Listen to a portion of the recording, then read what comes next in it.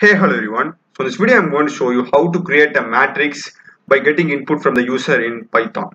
So here we're just going to get first the number of rows and columns from the user and then the elements present in the matrix. So let's get started. So first let us just get the input as I told you earlier for the number of rows and columns. So uh, int of it's going to be int of input enter rows okay okay and just copy this and I'm just going to put uh, columns. So here we will be like using two for loops as you know for uh, whatever may be a matrix. We are just going to create a two-dimensional matrix here over here. So for that we will be needing two for loops. So for the row wise and column wise iteration. So for this in python like you need to have two lists okay? So we're just going to push a list inside another list so our each list is going to be a row. It is going to act as a row. So that's what i'm going to do here. So let uh, first c be a okay list. It's not c. Let's l be our list okay. L equal to just an empty list. And let m equal to be our main list. So i'm just going to first get the values for l. And i'm just going to push it push the list l into m. That is append okay.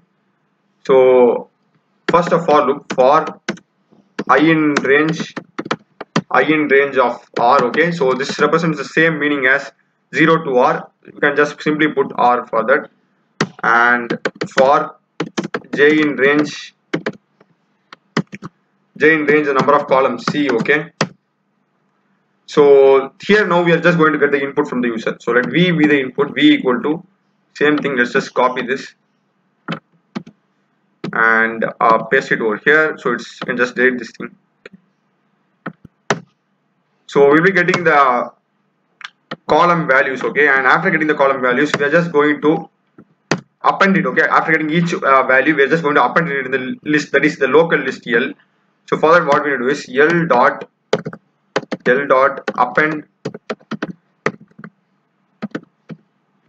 l dot append of v okay? So this will this loop will run c times. And after loop this loop gets terminated that is outside this j okay? For j loop we are just going to put m dot append of l. So this is what i told you earlier we are just going to append a list or push a list inside a list. But here we are still having a problem okay? I will this code will give you an error. It will see an error. It's like a logical error.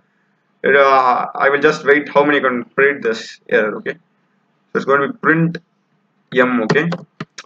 So now if i just run it so I will just put 3 and 3 so totally 9 uh, elements. So 1 2 3 4 5 6 7 8 and 9 and if you just hit enter we'll be getting uh, getting our elements like this okay? So the main problem is that here is that after each completion of this inner for loop our like our uh, local list is not getting emptied. So it's still containing. So after the first iteration like 1 2 3 our local list is still accepting 4 5 6 and 7 8 9 so after this iteration our local list should be empty. That is after this completion of the inner loop when it goes to the next uh, iteration of the outer loop our local list should be empty. It should, it should not contain the previous uh, values. Like if, if you have entered 1 2 3 during the entry of 4 5 6 it should be empty. You should not have 1 2 3 as its previous elements. So for that we need to just cut this okay? L equal to a empty list and we need to place it inside our uh, outer for loop and above our inner for loop. So just if you run it now we just put 3 and 3 1 2 3 4 5 6 7 8 9 as you can see like we are getting it perfectly okay? Three rows and three columns. Now i will do it uh not a square matrix way i will just put three rows and four columns. So it's going to take uh 12 elements okay? So 1 2 3 4 5 6 7 8 9 10 11 and 12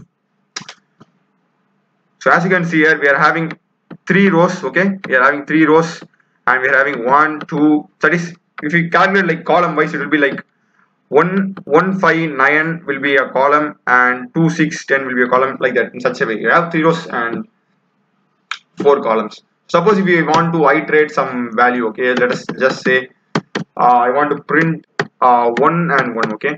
So I will also just show you how this works for just run it now. So I will just enter 3 okay? 3 1 2 3 4 5 6 7 8 and 9 so we are getting 5 because this represents 0 this entire first row represents 0 okay? This is 0 and this is 1 this is 2 so it's like a list inside a list. So generally if you're having a list it will start from 0 and it will end in, end in the uh, size of the list minus 1 same case over here. The size of the list is 3 because consider this as a single element. So 3 and it starts from 0 1 2 so this is outer list. So it's going to be 0 and this 1 will be represented as 0 comma 0 so this is like an inner list. Same same concept. We're just nesting a list inside a list. Same concept applies over here also and many of you will be knowing just saying for those who can't uh, understand or get it. So this 4 is going to be 1 comma 0 that is the 1 is 0 1 in the whole list. And it's going to represent 0 in the local list okay? And why we got 5 for m of 1 comma 1 so I put m of 1 1 because this is 1 1 is in the main list. And it's also 1 in the local list. Because in the local list it starts from 0 and 1 so simple. So if I just uh, do m of 2 we will be getting uh, we got here 5 okay? We will be getting 6 as the output. Now I will just run and show you that also. I will be getting 6 as the output. So 3 3 1 2 3 4 5 6 7 8 9 getting 6 as the output because 1 is the in the main list and in the local list 0 1 2 we are getting 6 so that's it. Hope you have found it useful how to input uh, a two-dimensional matrix by by using Python so that's it for this video and my program channel I've done tutorials in C, C++, Java, also many other programs in Python, Blender, that is 3D animation and Unity. It will be really great if you could check out other videos of my channel and subscribe and support me and thanks for watching.